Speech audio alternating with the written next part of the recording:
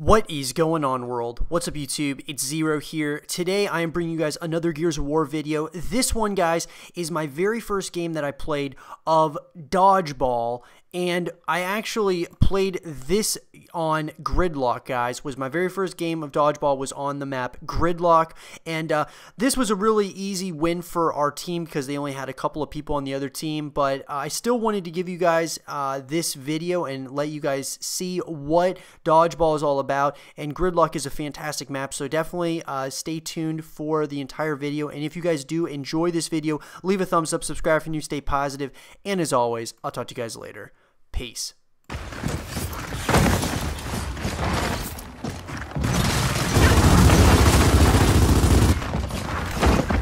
Maintenance required.